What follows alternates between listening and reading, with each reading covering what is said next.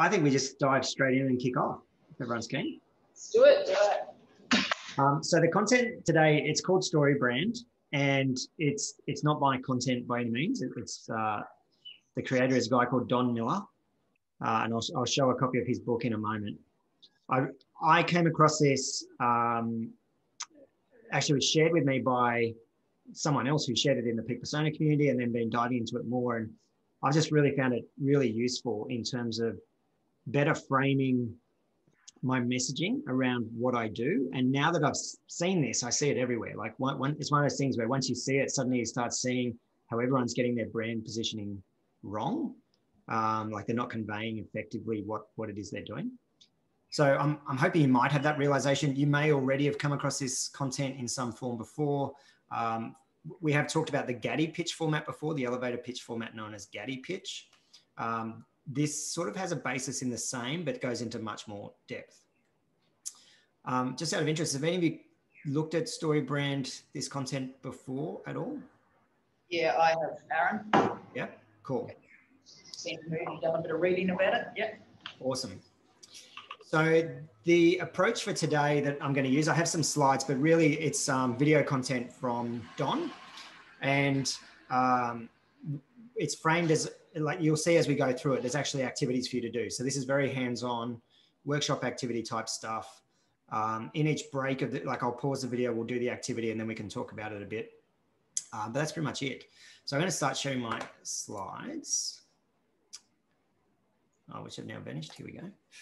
Um. Cool.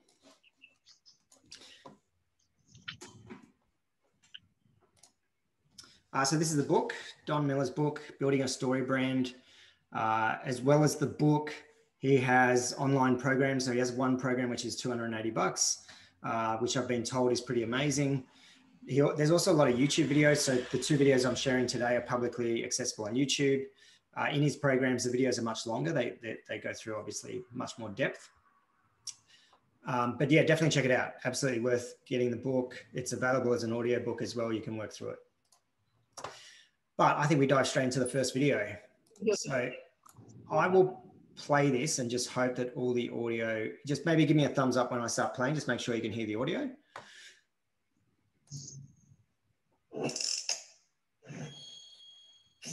Now we're going to switch gears to something else that you detail out in the book. And this is again going to be an exercise. And we want you on Facebook to engage as well. Now, Don's going to walk you through this. And then our audience is going to go through this as well. We're going to give you a little bit of thinking and writing time. And then again, we're going to have some more of our live audience members go through this with Don. So, Don, we're going to take him through this idea of a one liner. Right. What do you mean by that? And how can we all create a one liner? Well, the one liner is one sentence that explains what you do or what you offer in such a way that you, you, you capture the most people's attention. And so it comes from the movie industry. A one liner is what describes a film. So when you say Jason Bourne has forgotten who he really is, but he's, you know, it makes me go, ooh, I'd like to see that, right? I'd like to see that movie uh, because all the suspense is in that one line. Now, a one liner every screenwriter knows if you create a good one liner for your screenplay, it's worth $50,000 to half a million dollars if you can sell that screenplay. And then it goes into your phone two years later and you're looking for a movie and you read that one sentence, that could be worth hundreds of millions of dollars. You got to really nail it. What we tend to do is when, when somebody asks what we do, we say, you know, my grandfather started the company, or worse, we say, well, it's kind of complicated. what do you say when you say it's complicated? You're saying, you're going to have to do a lot of math in your head, and it's probably not going to be worth your time, but here I go. Well, they're not going to stick with you, right? We want to say something that attracts them right away, that makes them interested in what we're offering. So I'm going to take you through an exercise. It's a three part sentence, or it could be multiple sentences, but it's a one liner. It's something you can say really quickly. And somebody says, What do you do? I want you to say this, right? And it works like this. Uh, the first thing is we want to ask ourselves, uh, uh, most businesses struggle to talk about what they offer. We have a process that helps them clarify their message so the companies get growing again. What we want to do in our one liner, there's three parts. It's identify your customer's problem. This is the first part of your one liner. You're going to open with the problem. When I walk on stage and give a speech, I don't say, my name is Donald Miller and I've been living here in Nashville a long time and I'm married to a wonderful woman named Betsy and we have a chocolate lab named Lucy and we have a dog named Jude Carter. And I'm very glad to be with you today. Why? It doesn't start a story. I walk to the center of the stage and I say, we have a serious problem. We're wasting money on marketing. And you have no idea who I am. And I don't care if you don't know who I am because it's not about me, it's about you, right? I open up with your problem. That's what starts a story. A story is a character that has a problem. And the sooner you can get to the problem, the sooner you can get to the hook. And now they're interested. You see? And so, uh, you know, if I'm selling a product, then I want to start with that problem because it makes the product valuable. I say, you know how you sometimes drop your phone in the toilet? Well, I invented the toilet net. Okay, that's not a good example, but I that's I stole that from some comedian. anyway, so you want to identify your problem. So what is your customer's problem? And you want to say most people struggle with, or do you know how a lot of people feel about this? Or a lot of people are afraid to go to the dentist because they're afraid it's going to hurt really bad. So when I, when you say hey, what do you do for a living? You say, well, you know a lot of people hate going to the dentist because they're afraid it's going to hurt really bad? We actually have all the modern technology. You don't feel a thing. Most people, because of the laughing gas we use, they actually love going to the dentist. They come even when they don't have a toothache, you know, right? So you want to identify your customer's problem. Second, you want to explain your plan to help them. Now, this is where you can you can mention your product, uh, how your product differentiates in the market, but basically, you know, you want to explain here's what we do that solves the problem. So it's the problem, and then what I do that solves the problem. And then finally, third, the successful ending to their story. Most people struggle with this, but we created this thing so they don't have to struggle anymore and they actually enjoy life, and it looks like this for them. What is that? It's the summary of a story. But it's a summary of a story that you're inviting them into. So those are the three parts of your one liner. Now here's our one liner. Most most businesses struggle to talk about what they offer. We have a process that helps them clarify their message so their company starts growing again. That's my one liner. And I memorize this. And when the Uber driver says, What do you do? I say that.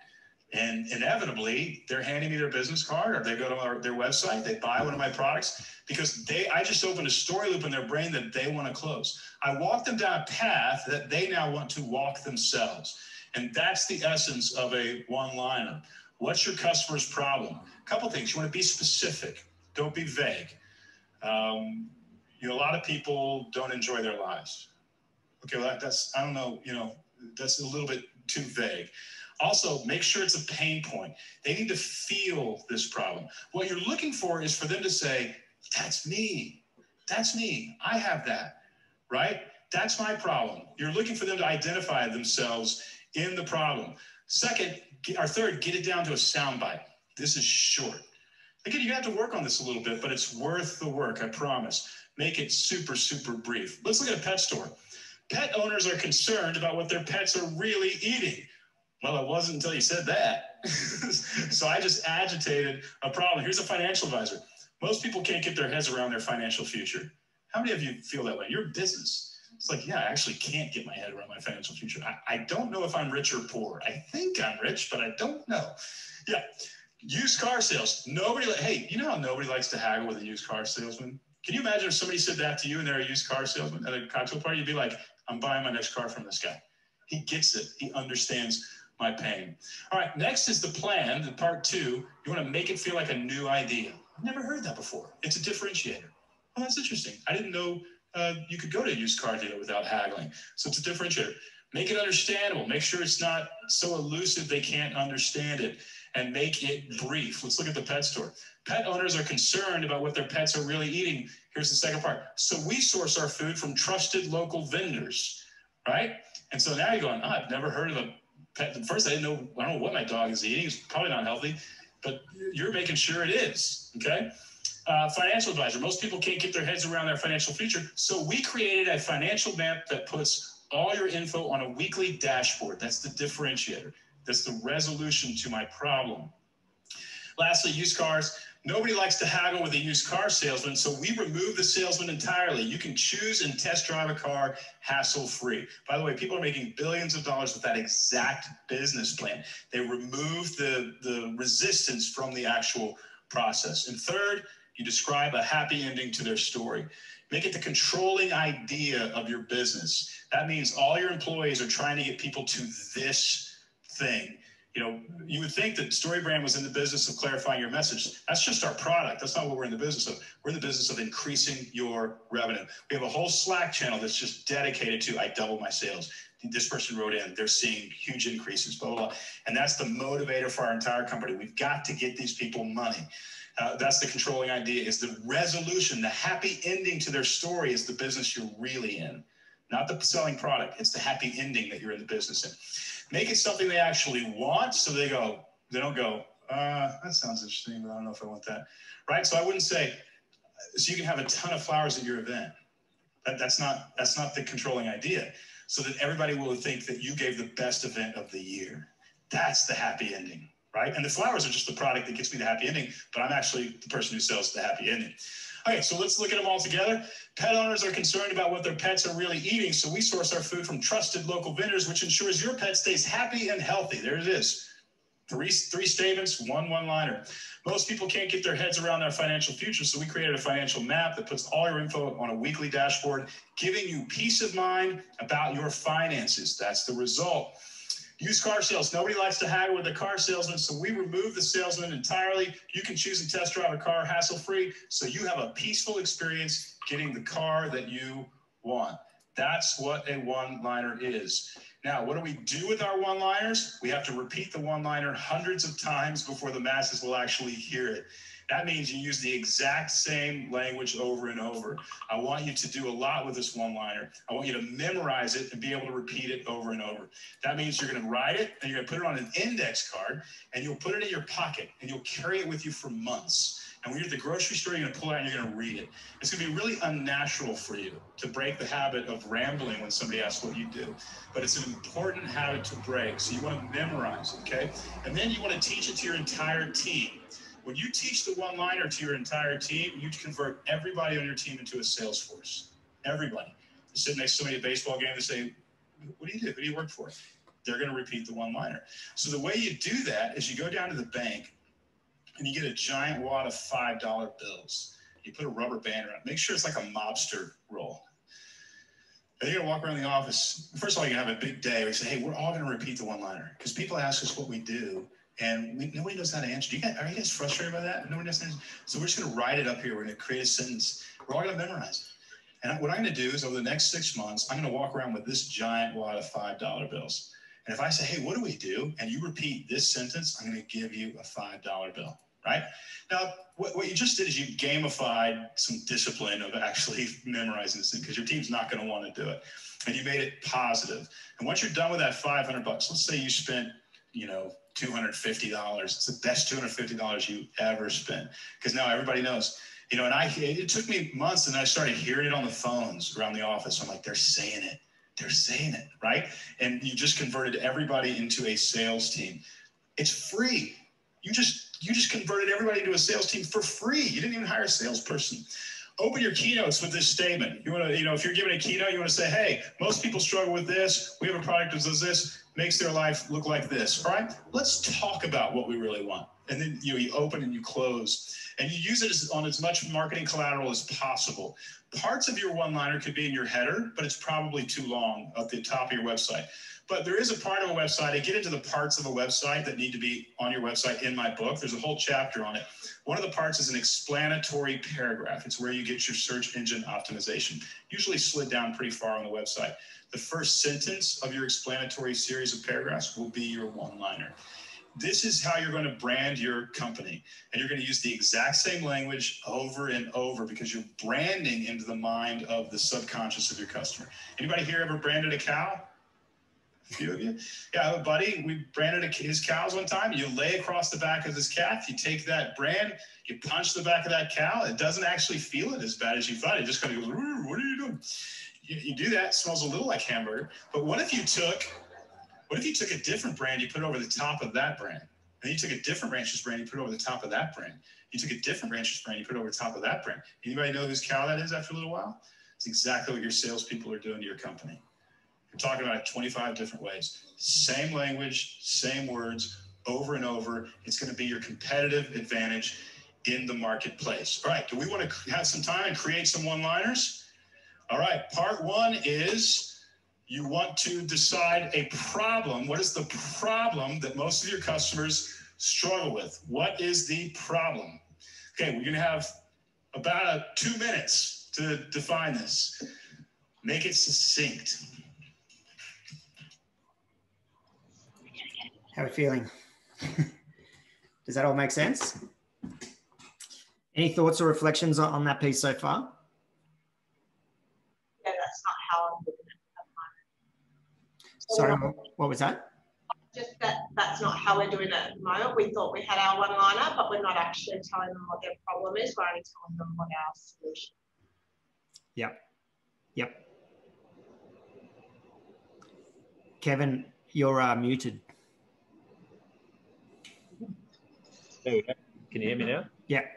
Okay. We're in a startup phase, so we're, so, so we're confused trying to um, get our one liner to get it right. Mm. We're out there trialing all these different things, and I guess probably messing it up at the same time. Yeah, I, I can relate to that. Um, one of my businesses, we've, we've been going three years today, actually. Today's a three year anniversary. And I feel like we've only just now starting to get it right.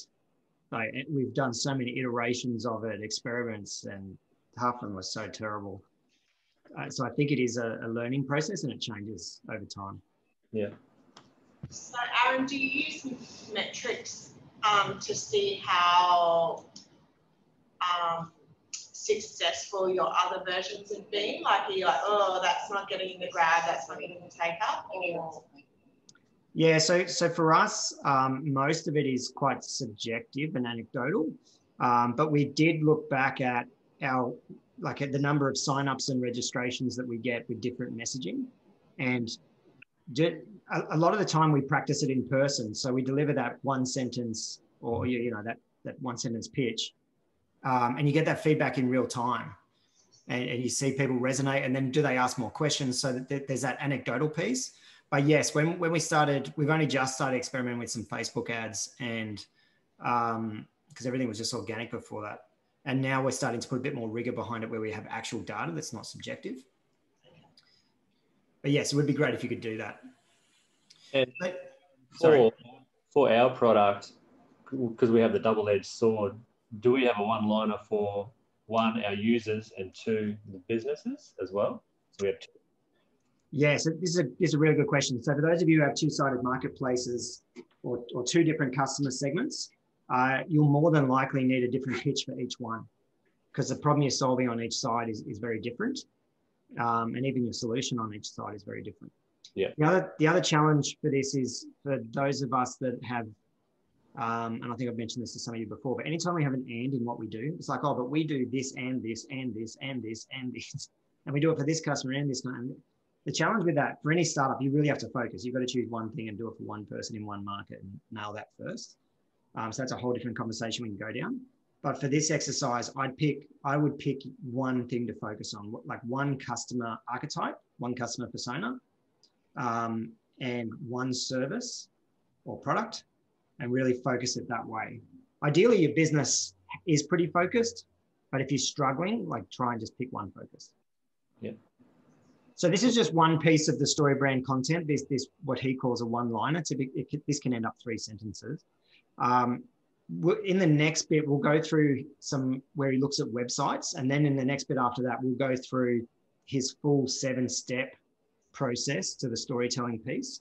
But for now, what would be good as an exercise, um, just like he introduced, is let's let's focus on our one sentence or or you know that first part of the sentence on the problem. What's the problem we're solving? And for those of you might think, well, I don't really solve a problem. I'm like this nice to have, or I'm like this vitamin, or you know, whatever it is. The way he talks about in some of his other videos and content is that everyone that's coming to you is they're still looking for a problem to be solved. So even if they want a pool for their house, that's the problem they want solved. Is that problem of getting a reliable builder to build this nice, amazing pool that's going to entertain all their friends and keep their kids happy and blah blah blah. So really think about the problem that you're solving. So I'll just spend a couple of minutes on this. Maybe um, let's go through in six minutes. That'll take us through to 10 o'clock. If anyone finishes earlier, just do a wave. And if we're all done, we'll, we'll kick off. It's five to six minutes just on the problem. Get it really clear and concise.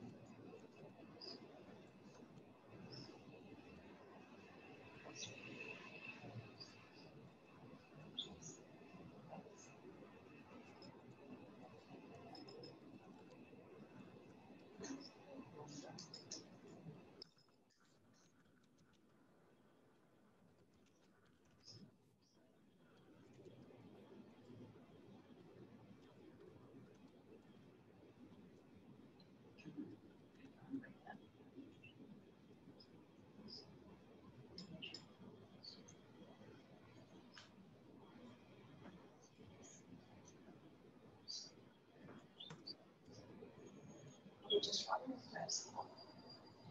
Yeah, I think it's supposed to be just the first section, but if you want to move on, I'm sure I won't. Yeah, if you finish the problem, feel free to move on to the um, the, the plan bit. Yeah, no one's going to get in trouble today, Aaron.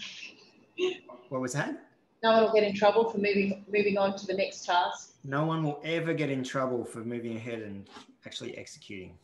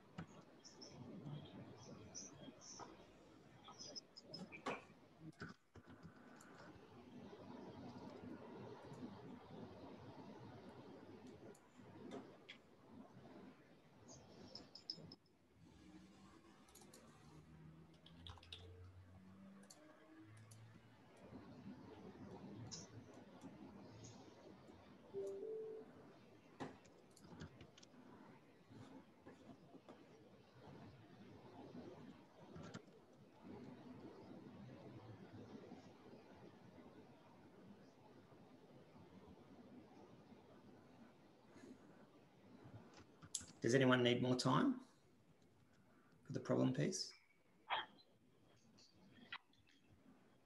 No? Would anyone like to share their, their problem statement or their first part? Yeah, I'll start. Yep. Um, so our problem is most people find it hard to search something to do when they travel or are in their own hometown. Okay. Yep. And, and is the trouble search or is the trouble find things to do? Find, yeah. Anyone else want to share theirs? I'll share mine. Yep. Um, we know that workplaces want to improve workforce engagement and safety. Do they do they want to include that or do they just want people to be safe? Improve, not include. Right, improve. Sorry, I heard include. Yeah, so so one thing with the problem is going, and this is something he I don't know if it's in this this particular video, but he has this piece where he talks about what people want isn't your product or service. They want the life that happens after your product or service has been successfully implemented. So if you flip the problem back from that, um, so often what they want is a feeling or, or an outcome. And so if you flip that back, that can also help us get clarity on that, that problem piece. Anyone else want to share this? Uh, yeah, Aaron, I'll have a go at, at the whole gamut. Yeah, go for it. Yep. okay, we'll give it a shot. Business owners' biggest headaches often come from managing their people. We measure and positively impact human performance indicators so that your people manage themselves. Yep, that's cool. I like that.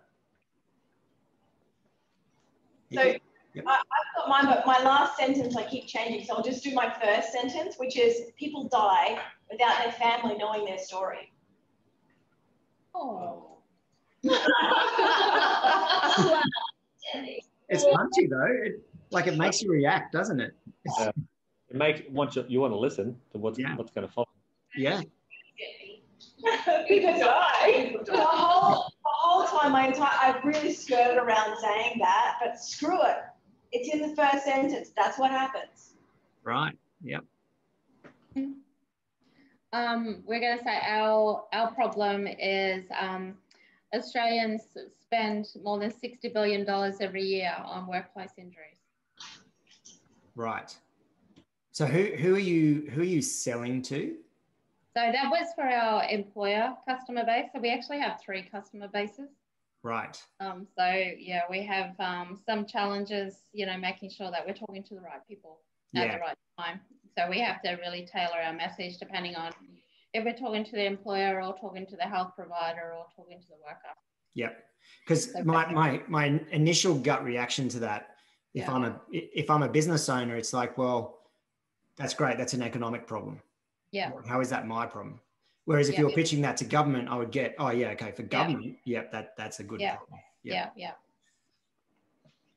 So you can see, um, I, I, I struggle with this and defining these, and um, it's definitely a practice. And you do need to go and test it with your customers and see what resonates. Um, one task I'd encourage you to do after this is to actually ask your key clients to give you the, the pitch back. So explain to give them the quick 30 second pitch of um, the Gaddie pitch or of this story brand one liner and ask them to give it back to you what the pitch is. And it's really fascinating process. Um, okay, how about we now spend five minutes on the next pieces of the, the pitch? So round out your full sentence. I know some of you have already done it, Trish, and others, but just spend the next five minutes, round out your full sentence. So we have to identify the problem. We then have to go into the plan of execution and then talk about that life after.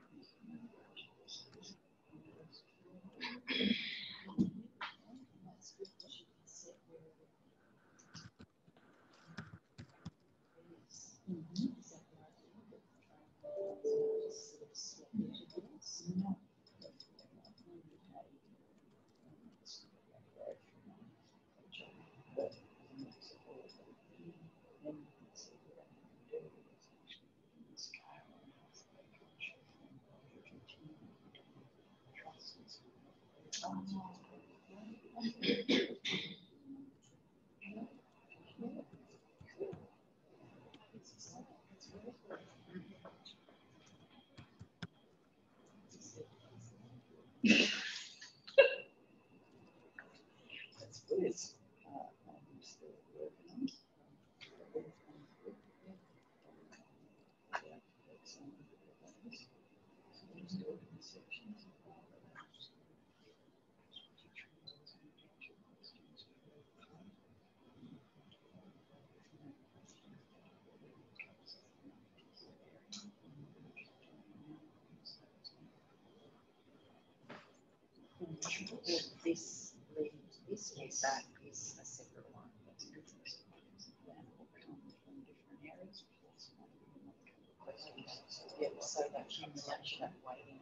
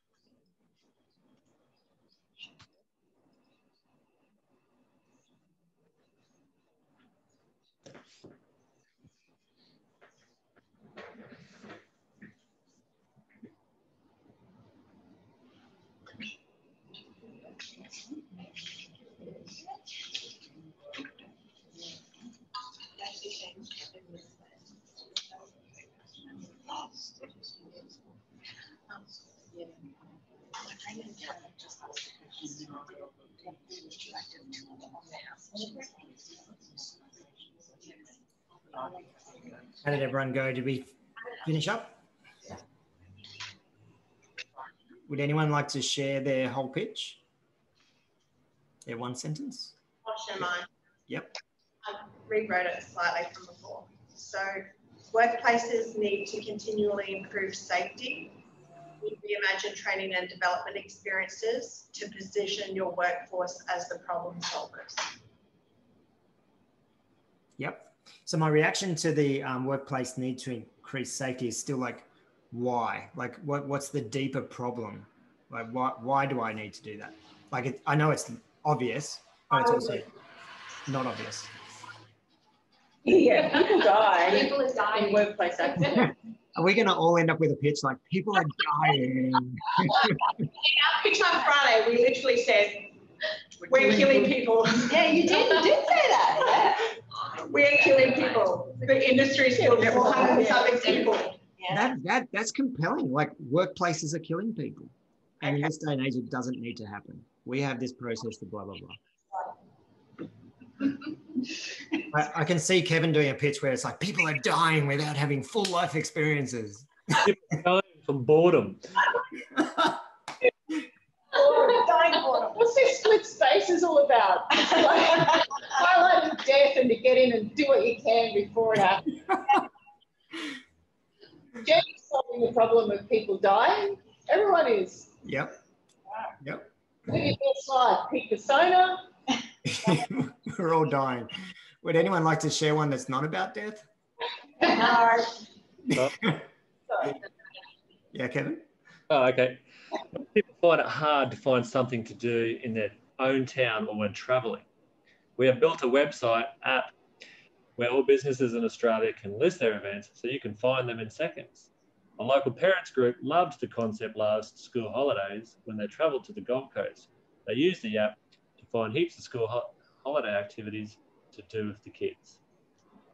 I, I love the I love the start. The middle, the middle was quite specific. So whether you need the app and mobile or you just need we provide a service or I'm not sure. Um, the ending was probably very like a very specific example. So um, so this is my reaction just hearing it was because I'm already in Brisbane. Like Gold Coast is so close. Like well, I, I'm I, all my brains firing. Were like, well, what else? Like what else? What else? What else? Yep. But but that I, I love the start. I thought that was really awesome. Okay. So make it instead of focusing on one type, make it more broad from I, I think so because you don't know the person you're pitching to. What I'm going to do in a second, the, the rest of this video, um, Don actually goes through some examples from the audience and you'll hear his feedback of how he reacts to them. And you'll see in there some of the things he talks about in there, you'll probably be able to relate back to your own stuff as well. Um, but would anyone else like to share theirs before we, we do that bit? Um, I just, again, I'm still struggling on that last sentence of mine. And if you're okay, I'll just do the two. Can I do the two different ones? Is that okay? Yeah. So-. People die without their family knowing their story. We help you turn your story into an interactive private memoir so your future generations have a deeper understanding of their own family history. Or, or I help you tell your story in an interactive memoir so your future generations don't have the pain of not knowing their own family history. So, Yeah, I, I don't know what everyone else thinks. I can't, the, the first one resonated probably more for me. Yeah. so Or you're painting a positive picture Yeah, that of the deeper- outcome that you want rather than the outcome you don't want. yeah, cool, cool, good, good. Sold. Do you want, Awesome. um, but do you want people to use this product before they know they're dying? Yeah, yeah. I mean, as in, you don't want to limit to your market to people who just have a terminal illness and feel like they need to get this off their chest before they pass. No, actually, to, to be honest, um, people in palliative care, it's too late. Yeah, It's actually too late. yeah. Um, It might even be something like, um, you know, along the lines like, um, you know, you want to tell your side of the story without facing someone or without dealing with the fallout or I don't know, something of it, you know, like if you think about why people would want to do it privately without actually having to face the person to tell them. oh no, no, no, no. That's uh, actually that's a big issue. So we're not. It's not a private memoir. We actually get the family involved in making the book. What we're saying is we don't publish these books in bookstores. Right. They're Okay. Ones for the whole public to read. These are to hand down through your private, um, through your family generations in your own family collections. And I've used the word family collections before. So uh, through private family collections to your future generations. It just So why don't you why don't you tap into like you know the art of storytelling? You know, storytelling has been part of human nature since prehistoric times. You know, whether from when they were doing paintings on walls or whether people were you know writing you know chapters in the Bible or you know indigenous populations handing stories down to the next generations like you know, tap into that storytelling as being part of human nature. Yeah, I've used that in a, in a, in a pitch before, actually. I did from um, hieroglyphs back to uh, hieroglyphs because emojis yeah.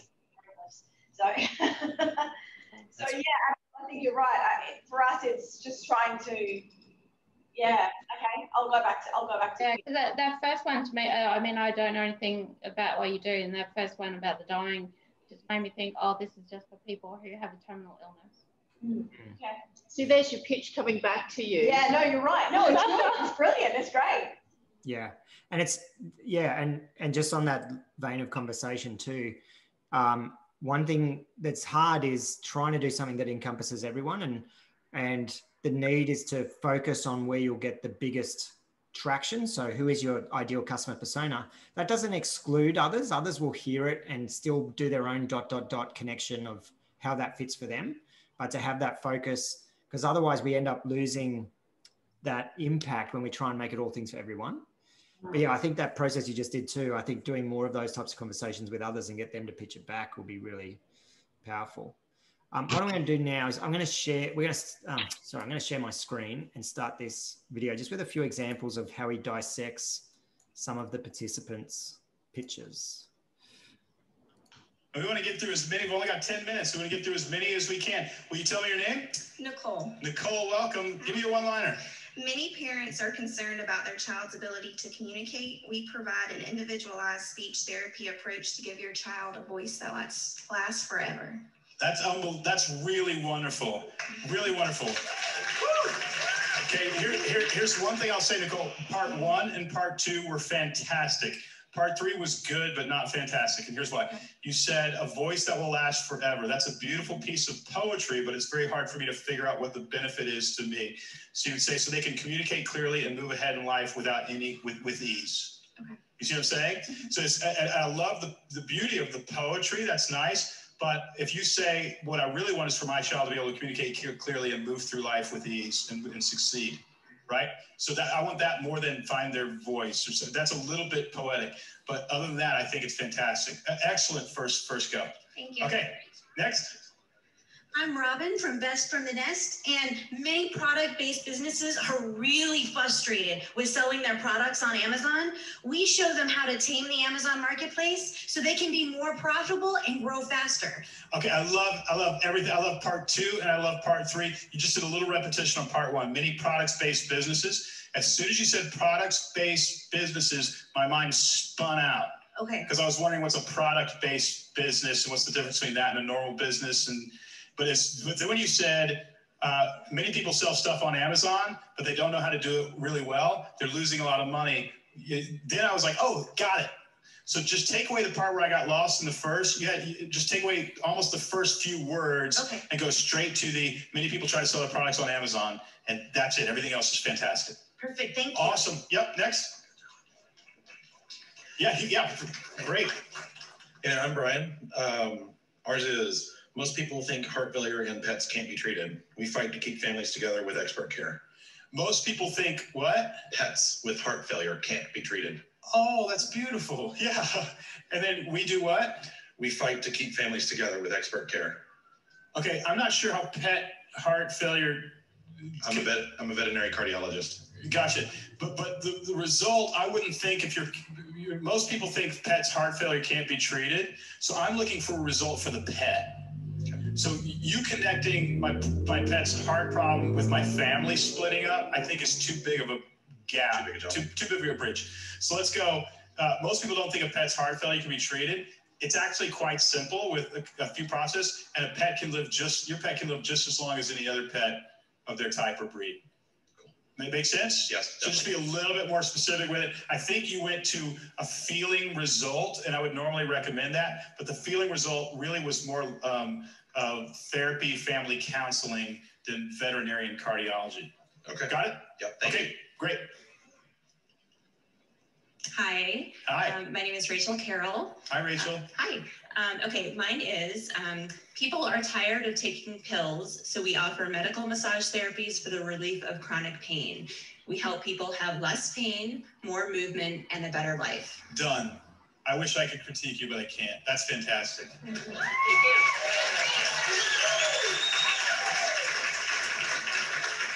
Yeah, wonderful.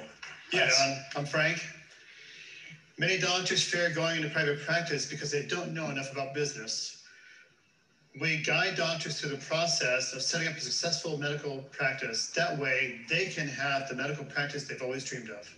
I, I love it. I, I love parts one and part two. They can be a little more succinct in terms of words. Part three, let's give me a little more than just what I'm dreamed of.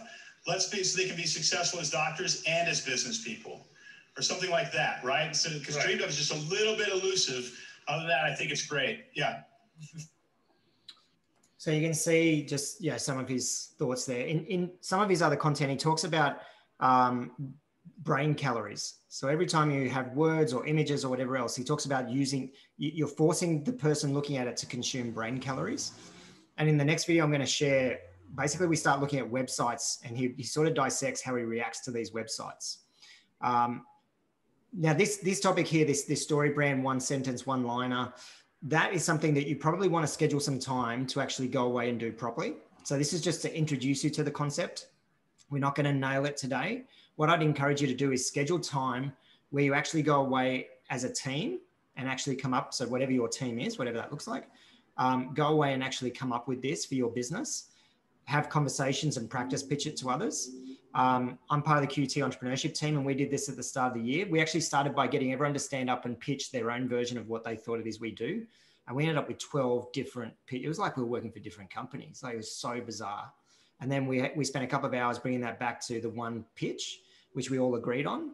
Um, but within three months, we, we were all out pitching different things again. So I like what he said about once you nail that one sentence, make it the back of your business card, make it your bio on your social media accounts, put it on the first page of every pitch deck that you do. Like that becomes your one sentence. When you meet someone at a cocktail party, bang, that's your one sentence. When you're in the taxi, bang, that's your one sentence. So, and everyone on the staff should have that same hymn book response. So they're the action items. I'd say number one, schedule some time to get away. Number two, come up with your one sentence. Number three, embed it. So it's in your DNA. Does that all make sense? Yeah, and Aaron, we've got our Christmas party on the 4th of December. Yes. Could, you know, have everybody be able to just get in this succinct because there's going to be lots of people there and, you know, we can, um, that could, you and Sharon and, and can be walking around listening, going, "Oh, yeah, they said the same things. and the person they hear say it most maybe wins a prize or something. Yes, I like that. The best, yes, the best one liner by, by the Christmas party. I like it. That's a good time frame. People are dying. It'll be a room full of people are dying because we're killing them. yeah, people, people be wondering what's going on. Uh, I'm just going to tee up the next video. So, any questions on the one liner before we move on? No, cool. So in this next video, uh, it's it's more looking at websites. So so taking this same approach and looking at websites, and I'll, I'll let the video speak for itself. Um, I'll just tee it up.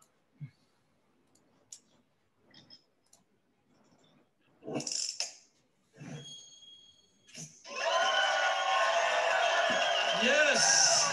Hello, Facebook, and welcome to a live look in at EntreLeadership Master Series coming to you from Nashville, Tennessee. Thrilled Actually, what I'm going to do, I'm going to skip ahead to a bit uh, where it actually starts looking at websites, because otherwise the video is quite long.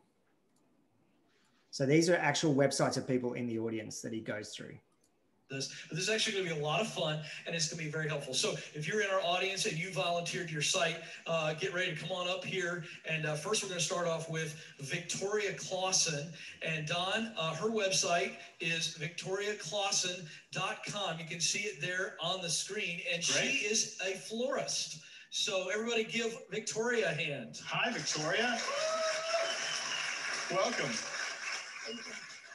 Uh, okay, so I've never seen any of these websites. They asked me, do you want to study them? And I said no, because I want you to be able to experience me looking at them from an outside perspective.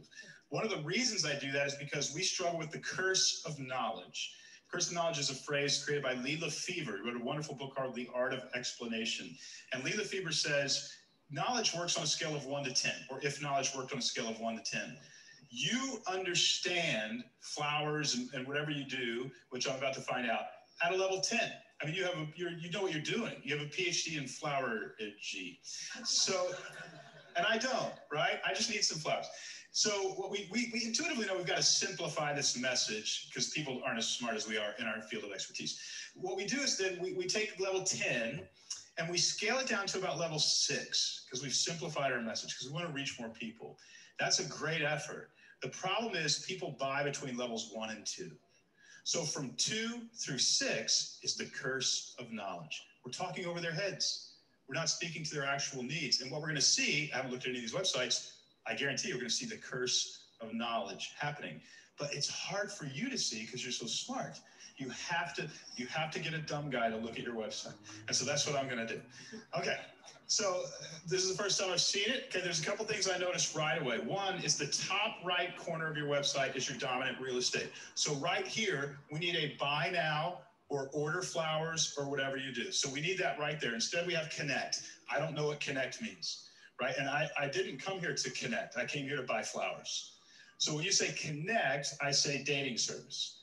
Now, if, if it, it, it takes me calories, my brain is going to fill in categories lightning fast. You can't stop it. You cannot stop your customers' brains from thinking.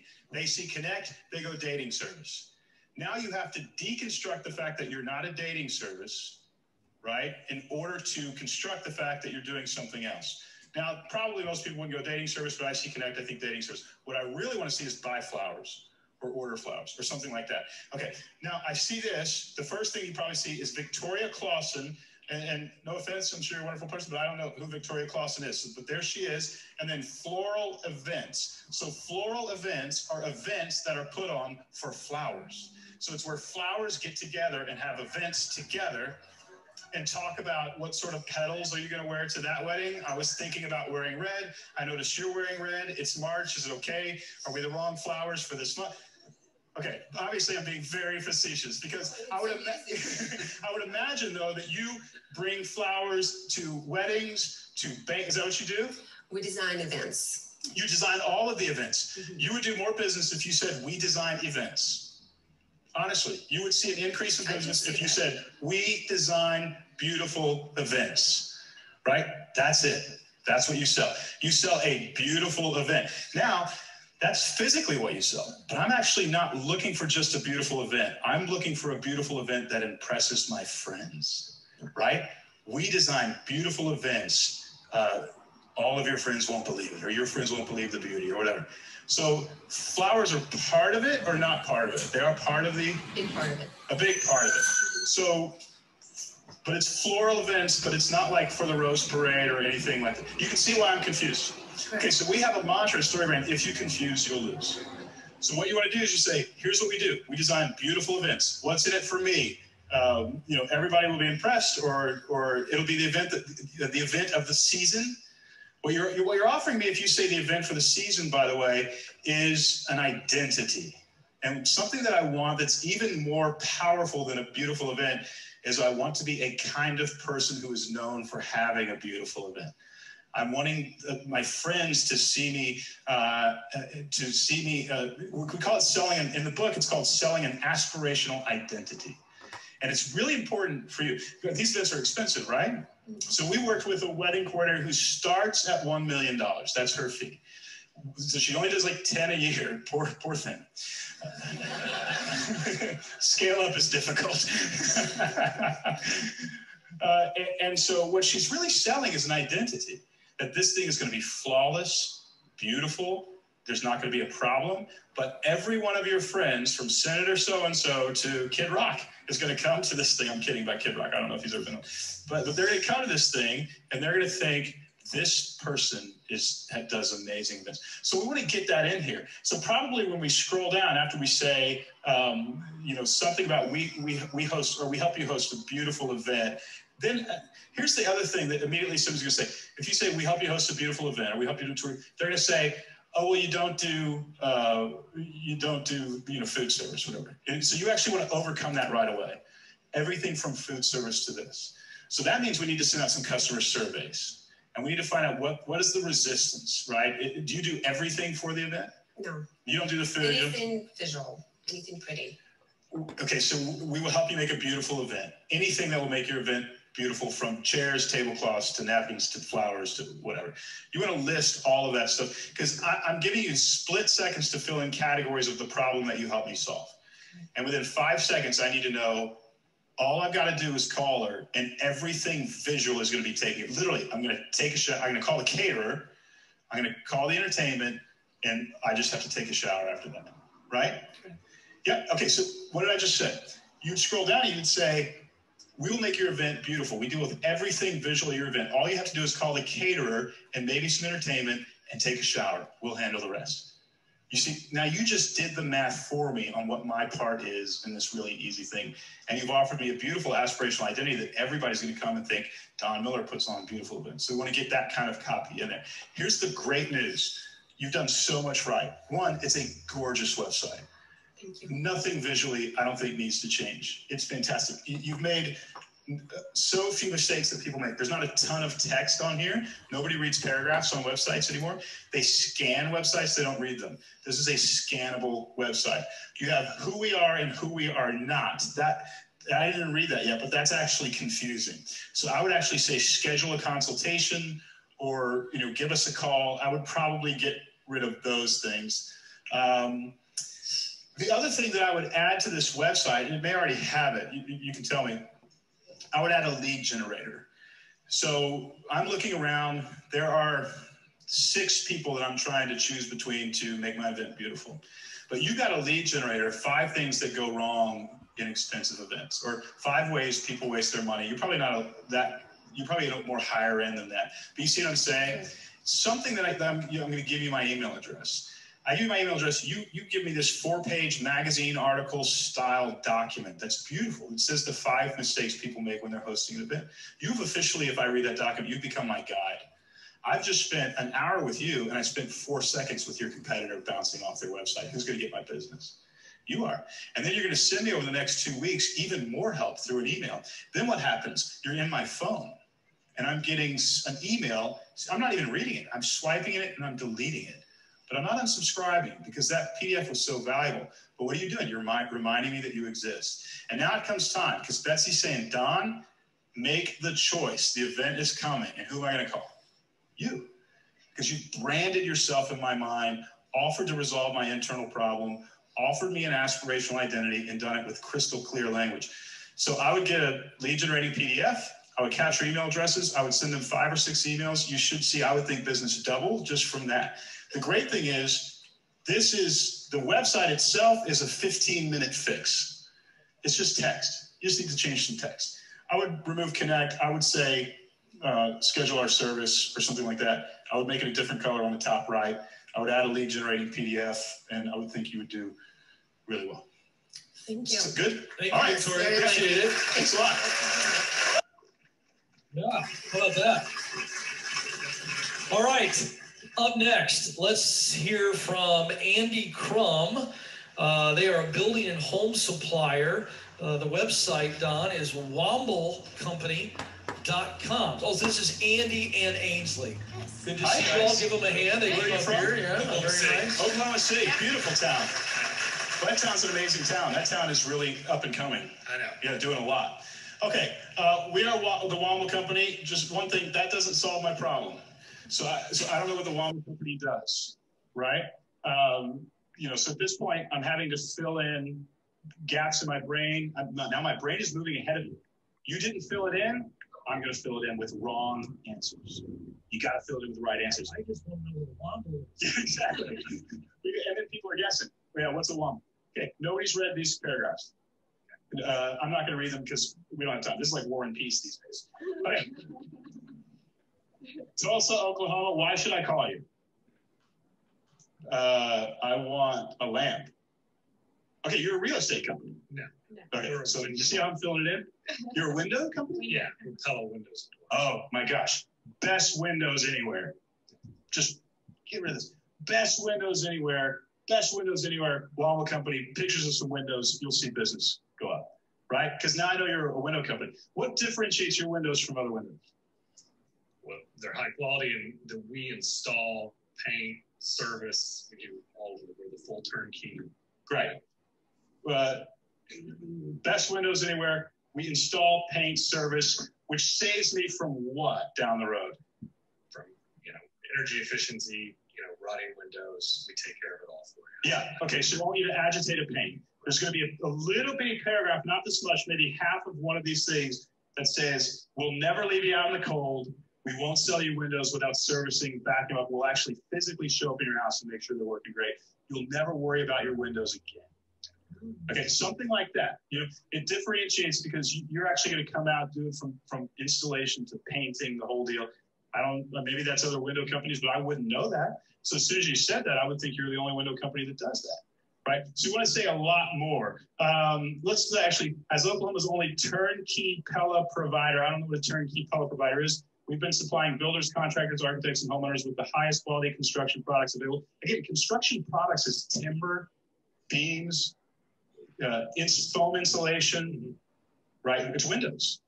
So you're not you're not owning the window territory because you're not telling me you do the best windows. You want to be known as I'm telling you, you know, if you're at a cocktail party says, Andy, what do you do? You say, you know, most people have serious problems with their windows. They hate opening and closing them. They they leak. That cold air is coming through. We sell the best windows in the industry. We install them, we paint them, we service them, we make sure nobody will ever worry about their windows again. We are the window people. Right? Now, now who are you in their brain? Yeah, that's window people. Yeah, when they think window. okay. A problem is a cue, a cue that makes them think of something. I have a problem. My problem is windows. That's a cue, and you have not put yourself in their brain as the solution to the problem because you are selling to contractors, architects, home builders, the highest quality construction products available. Nobody ever got to the second sentence, and there's nothing about this image that says you sell windows. There's nothing on here at all that tells me you solve my window problems. How are we going? Does that all make sense? Yep. Yep. Is anyone reflecting on their own website at the moment? Oh, yeah. I got it going, hmm, that could do with, I mean, the it just had a new sort of rebrand and everything, which is great, all the colours and stuff, but there's a few, a few too many words in places. Yeah. No call to action, really, no great big button that says, you know, bring us into your business today or anything like that. The lead generation is really big. I've been, I've been, honestly been procrastinating about it. Just I know it's got to be there and I haven't done it. So mm-hmm. I think it's a like I just really got to get it done. It. Yeah. I, I've scheduled in for one of the future workshops for us to talk about sales funnels, and I, I think that's where we can talk about that that Yeah. onboarding process. Sales funnels freak me out. It just seems like such a lot more work. I've tried to see how that's for another workshop, right? Yeah, absolutely. I'm just going to play one more example um, because this one, I've just jumped forward, but this one I think highlights where we get things wrong a lot when we're doing things. And this is an example of websites, but I see this equally in marketing materials, you know, at printed adverts, just the way we message things. So I'll just play this one more. recycling company. and uh, the website is metrogroup.com. Okay, I can. Uh, are you going to be affected by this uh, trade tariff thing in China, shipping uh, scrap? over? Absolutely. Okay. Yes, let's you be know about careful that. about that. Yeah, I know that. Okay, this is uh, this is a building that's for sale. You selling that building? no. You lease the space in the building? We own the building. Okay, you leasing any space though? Uh, no. Okay, because that's what you're selling. Yeah. Okay, who's your customer? What would what would if I have a what would I send you if I, if I have a junkyard and I'm pulling out scrap metal and sending it to you and all that kind of stuff? Uh, yeah, we buy from that. Mostly it's industrial customers that generate scrap metal in some aspect of their business. Great, repeat customers. Repeat customers. Okay, sales reps going out and talking to them all the time. What differentiates you from your competitor? Uh, mostly that we're local, we're not corporate. Um, You're the local guys. Yeah.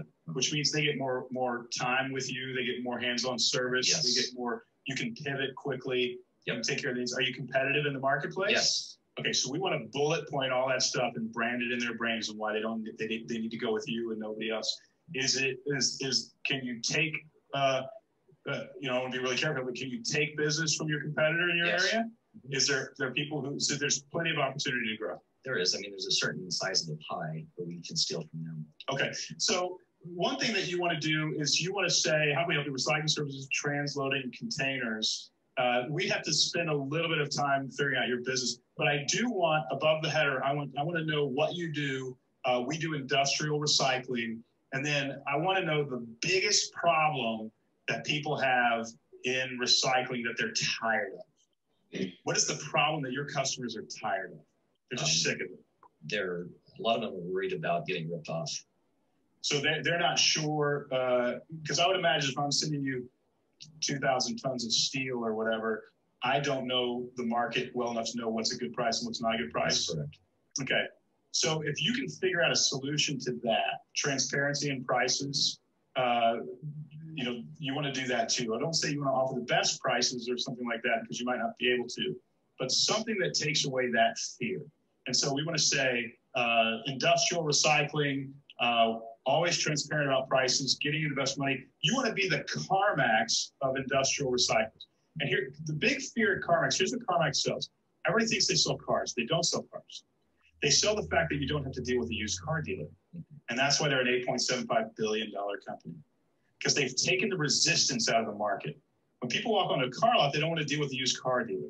So when I'm dealing with recycling, one, it's really intimidating. I feel out of control. I don't know what these prices should be.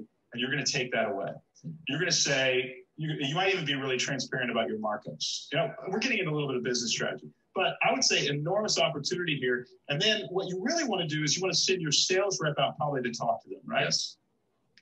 And I stopped that one there, but um, Kevin, that one made me think of you. It's like, you know, Yeah. are you in the business of events or are you in the, the business of helping people find amazing experiences? So it, it, it's, it's that little flip of what, what is the actual problem we are solving? And then how do you put that on the website in a way that as soon as someone sees it, that they understand exactly what you do? Yeah, yeah, yeah. Yeah. Um, any reflections on that one before we sort of move on? Was that useful listening to those? Yeah. So I'll share um, after this. I'll share all the links to these videos and a couple of others as well, so you'll be able to watch the full video, not just the bits that I've sort of highlighted. Um, but what I want to share next, just in the little bit of time left that we have, is to actually share the full seven-step um, brand st- story or story brand process. So again, I'll share a video that steps through this. But really, what you want to do is tell the story of your business in this way, which is the character. Um, they, they actually frame it as the hero. This is your customer. So your customer is the hero of your story, not you. And, and this story brand content talks about this a lot because most, most companies try and make themselves the hero.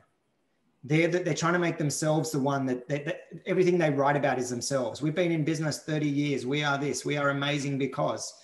Whereas the person at that point doesn't care that you're taking the he- you're taking the hero role, and instead you want to make them the hero. So, understanding who your customer is and who your hero is, understanding what their problem is, is the next step. So, step two, what is their problem? Then step three, they need to meet a guide, and this is the story. Like this is the, um, I, I guess, the structure of any story, any Hollywood movie. They all have this same thing, right? There's there's a hero that has a problem that meets a guide because the, the hero can't do it on their own. The hero is stuck. In fact, the hero is often afraid. So they need a guide, and you're the guide. So your role isn't to be the hero. Your role is to be the guide that helps the hero. You challenge them to go on the path. You get them on the path. So you're the guide that understands exactly how they feel. You can demonstrate empathy. You demonstrate credibility, and then you give them a plan. So here's the plan for you to go and achieve what you're trying to achieve. That plan then needs a call to action. So uh, step five is the call to action. and It needs to be a really clear, simple call to action, which is what he was talking about on the website with like a, a buy now button or a book a consultation button. What is the really clear call to action? Then you need to paint the picture of what the result is. And, and by the result, we mean both the path of success. So if they buy off you, they get this great outcome. But you also need to be able to paint the picture of if they don't buy off you, what's their life going to keep looking like or what's going to happen in their future. So in the world of the death and doom in the work sites, it's like people will die. Like if you don't fix this in your work site, people will die. Um, if you don't capture the this legacy story of, of your um, aging relatives, then those stories will die. You'll lose that knowledge that's been gained. You'll lose your family history and legacy. And then what does that mean? So that, that's the seven step process. And what I was going to leave you with, um, which I'll drop in the Slack, is that's broken down into um, this worksheet basically, where you can define who your client is, the problem that they're having, your role as the guide, um, give them the plan, the call to action, and then describing what success looks like. So it's a very simple process.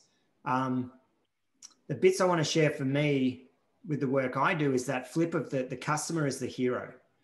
Because we felt such a need with our marketing to sort of promote who we are and what we do and our experience. And while that's important, it it positions us then as a place of hero where they're particularly because we're working with founders, the founder wants to be the hero of their story. And even if you're selling into a company, that the company, the, the person that you're actually selling to wants to be the hero of that story. It's just they need help to get there. So mm, this is why telling your story and your brand and your marketing is less about you and it's all about them. Um, the other tip on this as well is in terms of your marketing, what the story brand content talks about is to just be talking about problems, the, the customer's problems. So all of your content should be speaking about, and if you get up and give a keynote, talk about the challenges, the problems, this is the things that are happening, because then anyone who is in that character role, your, your customer will hear that and go, oh my God, that's me. How, and then you start portraying the path forward of why you're the guide. So that credibility piece and the plan of action. But does that make sense? Does that model make sense? Yep. So that's a, that's basically the essence of story brand is are those seven elements. I'm looking at that and, and seeing a lot of similarities with parenting. yes. yeah, you can, you know, you can follow that through. When you That's want. actually true now. You say. yep. Uh-huh. Hmm. I do that every day. How's this going to end?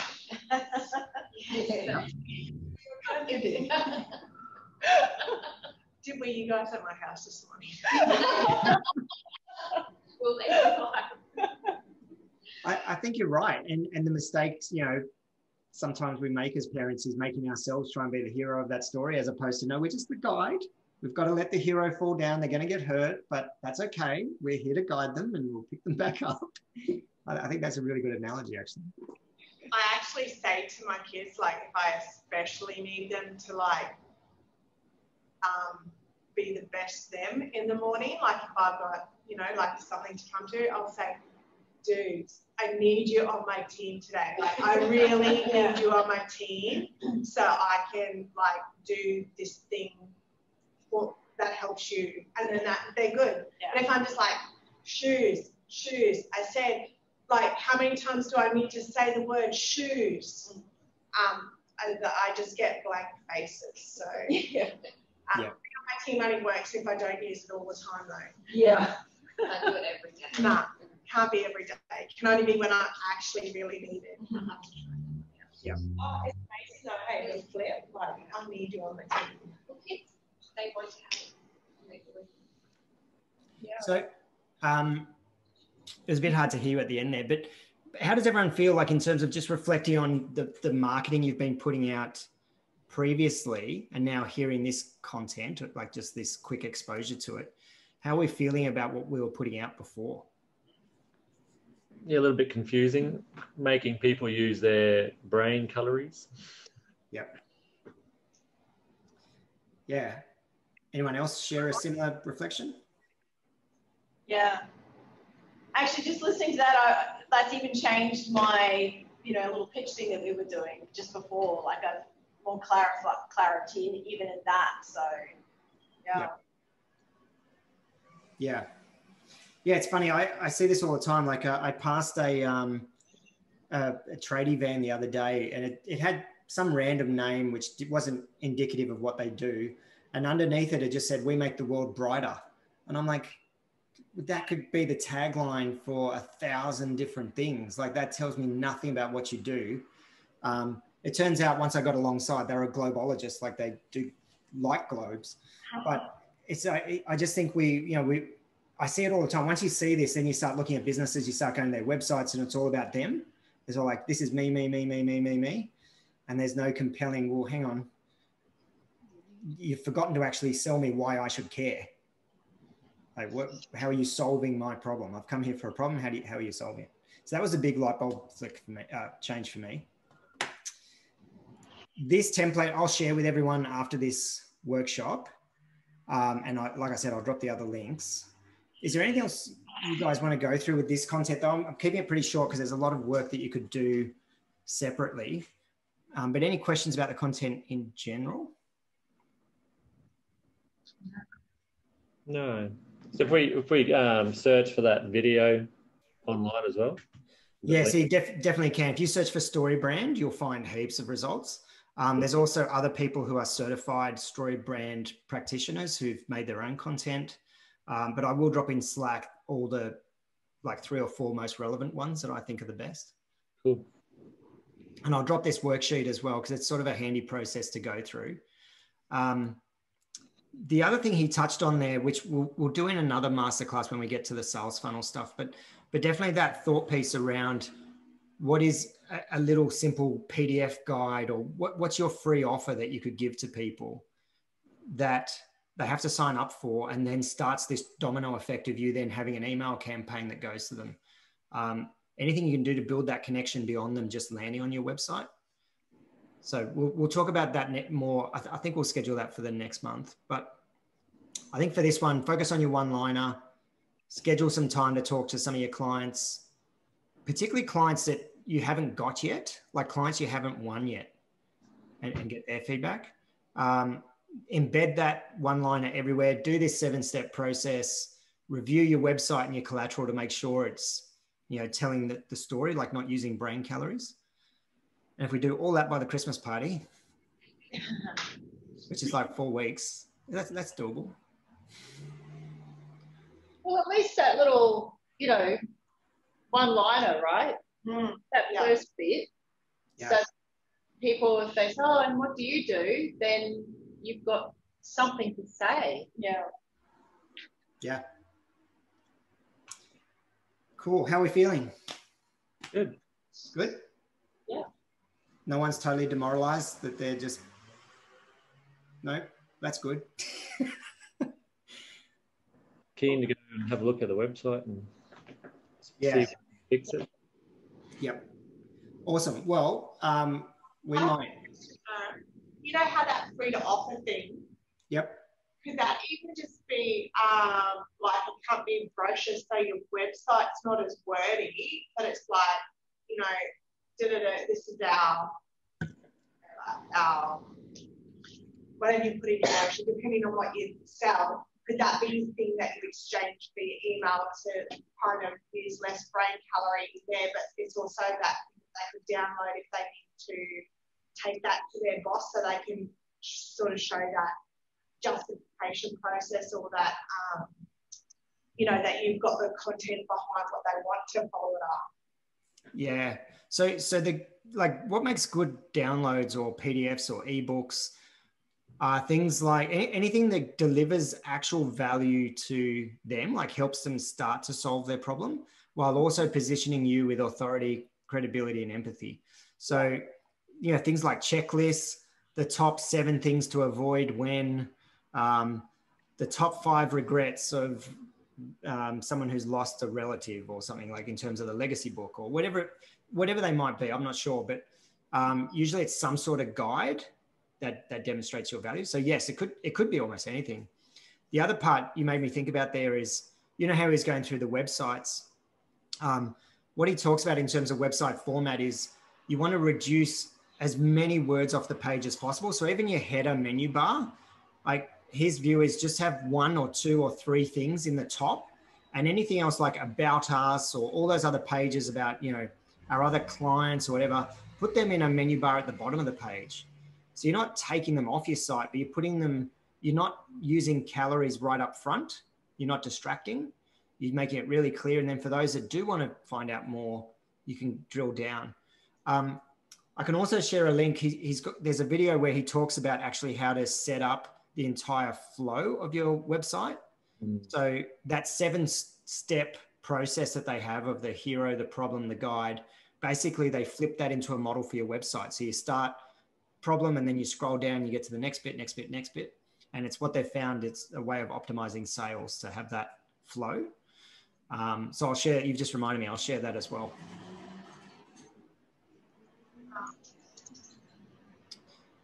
Cool. Well, it's coming up to 11 o'clock, so um, we might call it there. I'm happy to stay on a little bit if anyone has any questions, but otherwise, in the next sort of 15 minutes, I'll drop all those links in the Slack channel.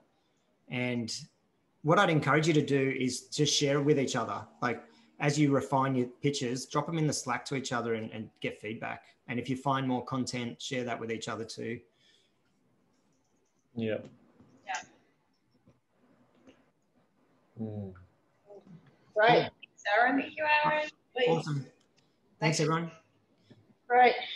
Thank you. Oh, the last thing as well, I still have some slots free this afternoon if everyone, any of you want to have a chat. So book book them in too. I've got you in for Awesome. 1:30. 1:30. Okay. Cool. All right. See you, everyone. Bye. And Jenny, feel free to include any of your team in these sessions whenever you like. That's totally okay to share that link. Right, great. Thank you. Great. Oh, excellent. Thanks. Bye. Thanks.